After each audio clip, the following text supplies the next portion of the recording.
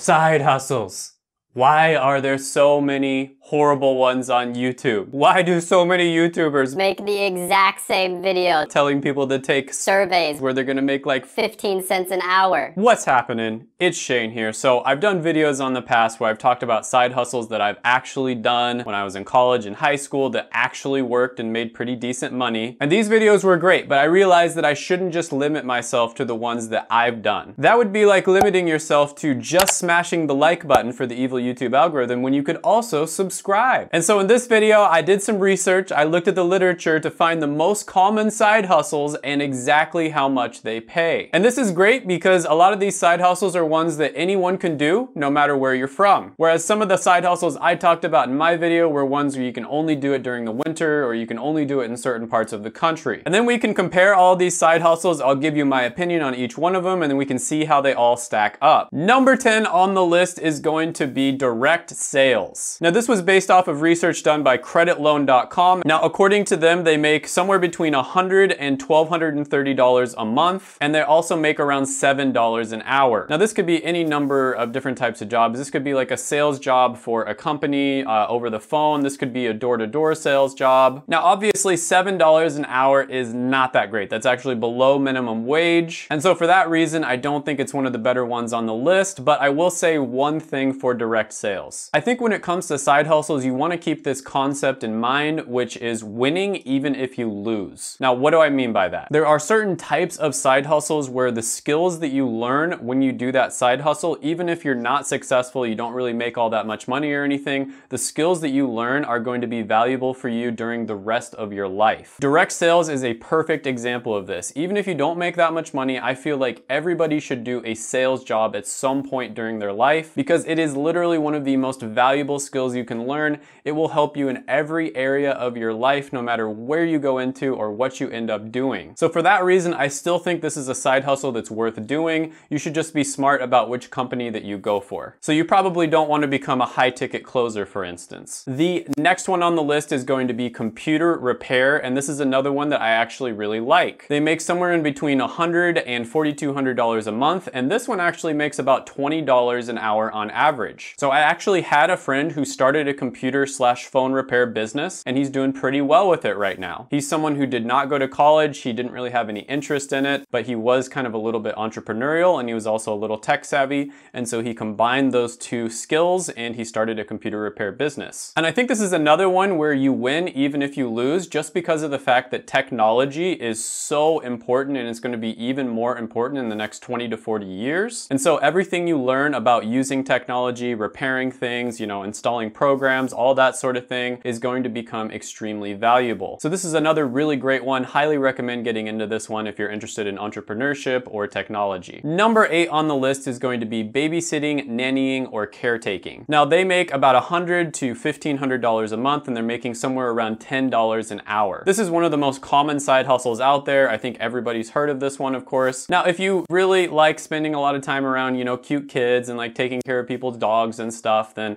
this one can be a great one for you and you're making money anyways. You can probably just catch up on 90 Day Fiance while you're doing it anyways. But overall, in terms of winning, even if you lose, I wouldn't rank this one very highly just because of the fact that I don't think you learn all that much in terms of marketable skills. Still, it's a really great one to do if you have some free time and you just want to catch up on TV, so I still highly recommend it. Number seven on the list is going to be reselling items online, and this is one that I am actually extremely familiar with. I did this one for a long time throughout middle school, high school, and even college, and they say on here that you make between $100 and $1,500 a month, and you make around $20 an hour. Now, I found that that number, especially the one per hour, is a little bit off just because I focused on items that I knew that I could flip really easily, and so I didn't really waste that time on items that didn't make very much money. But overall, this is a great one to get into and it's another one where you win even if you lose. You'll learn skills like marketing, research, all of that sort of thing. I wouldn't say this is as valuable as a sales job, for instance, but it's still one where you're gonna learn a lot. It's also somewhat passive if you know which items to look for. Overall, another one that I highly recommend. Number six on the list is going to be tutoring or teaching, and this is another one that I did when I was in high school and college. I'm realizing that I think I kind of got lucky because I don't think I ever looked on a list like this. I just kind of stumbled upon these things. But they make somewhere in between 150 and $3,000 a month, and they make around $15 an hour. Now, I found that I made a lot more in terms of money per hour, but I didn't make as much in terms of the total amount per month. I never made like $1,500 in a month. This was just a cool little side hustle I did. I'm not gonna go over the whole story, but basically there's a test to get into pharmacy school called the PCAT. I got really good at that test and I showed people how they can study for the test in like one-tenth the amount of time and do really well on it. And they would pay me between 80 and $150 an hour for me to show them my secrets and tell them what resources to use and exactly how to use them. I know a lot of people also go the language route, so they might tutor someone who is planning on going to university in the United States or moving to the United States on the vernacular of how we speak here. But yeah, this is a really good one. Um, there's a lot of online sites like Cambly you can get into in order to teach English. And then there's also a lot of stuff you can just do locally if you want to. I would say this is another one where you're winning even if you lose because the ability to teach someone something, the ability to, you know, take a complex subject and then package it in such a way that everyone can understand it is extremely important in my opinion. Next one on the list is going to be e-commerce or drop shipping. And this one you can make somewhere between 150 and $6,000 a month and they say you make somewhere around $15 an hour. Now this one is a little bit cringy because there's about a thousand courses online, you know, 15 year olds that became millionaires and want to teach you how to become a millionaire too with Shopify dropshipping. Very cringe. Definitely gotten blown out of proportion and it's not the same opportunity that it used to be. But with that being said, commerce is going towards more of an internet platform. And so this is a really good one to jump onto if you're a certain type of person that has the kind of mindset that you like creating online stores. I recommend not buying courses or if you do buy a course, just do one on Skillshare. Most of the information that you need to know you can find on YouTube and I really recommend that you just try to do it without buying anything. Also don't invest very much money into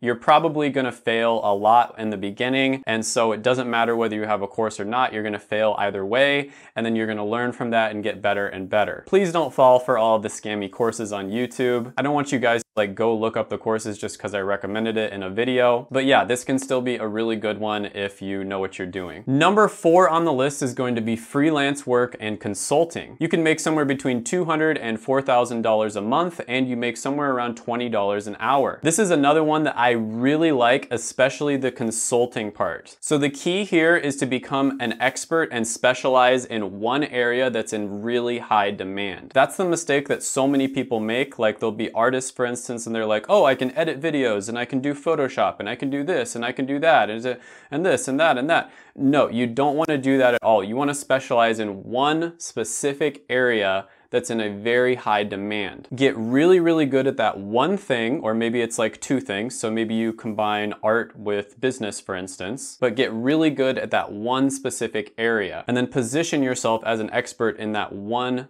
thing. That is the key to freelancing and consulting. I see uh, so many people making the mistake of saying, oh, I can do all these different things. No, no, no, no, no do one thing. This is another one where I think you win big time even if you lose because you have to learn a bunch of different skills like uh, marketing, sales, you have to learn how to talk to people over the phone generally. So I highly recommend going into freelancing or consulting, especially the consulting part. I think the age of information is upon us and you having specialized knowledge that people want to pay for is extremely valuable. I consulted with several different YouTubers who were in my niche who had grown uh, before me, for instance. I paid them really, really good money for them to give me some tips on how to grow on YouTube in this specific niche. And it was worth every penny. It helped me so much when it came to growing my YouTube channel. Number three on the list is going to be fitness training or coaching. Now they make somewhere between $200 and $3,000 a month and they make somewhere around $20 an hour. Now I'm gonna be honest with you, this one is a little bit iffy for me just because I think that this is a market that's extremely saturated. There's tons of, you know, personal trainers out there and people that try to start their own gyms forums and stuff.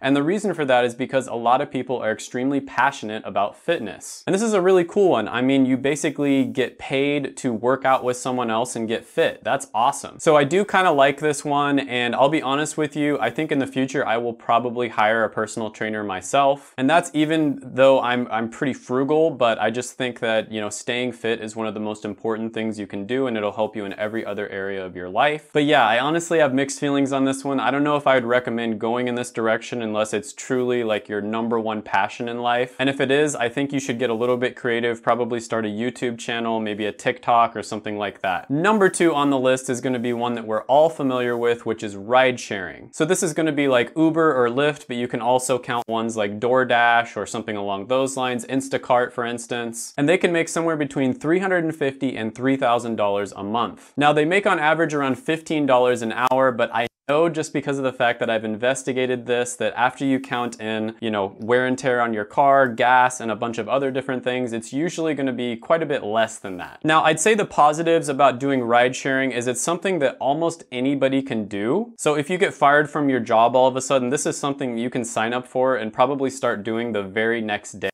And I think there's a lot of value in that because it's just so flexible and you can do it at any time. Let's say you just want to make a little bit of extra money because you've got a vacation coming up or something like that. You get off work and you can just start ride sharing right away. Now the downside of this is this is not one where you win even if you lose. I really don't think you get that much out of this. You don't really learn that much from just giving people rides around your town. I guess if you're new to the town, you could kind of learn how to get around the town and just do it when you're first moving there and that would be a really convenient way. But other than that, I really just don't see how much you get out of this one. So I wouldn't really recommend it unless you need money right away because you got fired from your job or something along those lines. Number one on the list is a very, very good one, and that is going to be selling or renting property. This one is going to be $500 to $7,000 a month, and you're gonna make somewhere around $81 an hour. Now, I've said in a lot of my past videos that one of the best possible investments that you can make is in real estate, and this is exactly what I'm talking about right here. So the thing about real estate is you have to do a lot of work up front and it does take quite a bit of skill. You're probably gonna make some mistakes like the first one or two houses that you buy. And I know this because I have a ton of different real estate agents and real estate investors in my family. I'm actually personally waiting to buy real estate because I think for one, the market's gonna drop soon. And then for two, I don't wanna buy real estate in an area that I'm not living in or I don't plan on living for a while. And the reason for this is because I want to be able to check out my properties. I wanna be very familiar with the area. You'll notice in some areas that there'll be houses in one area that are worth $500,000 and then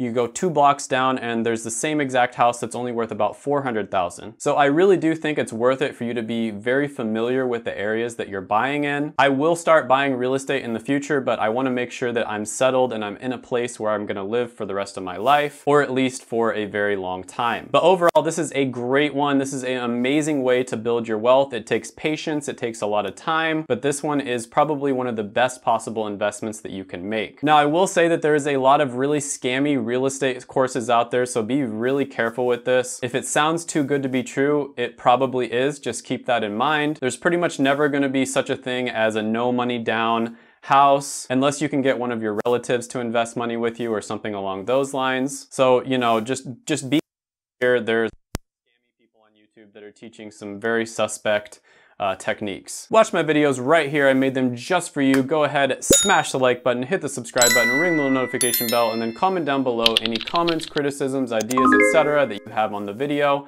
Thank you so much for watching and bye for now.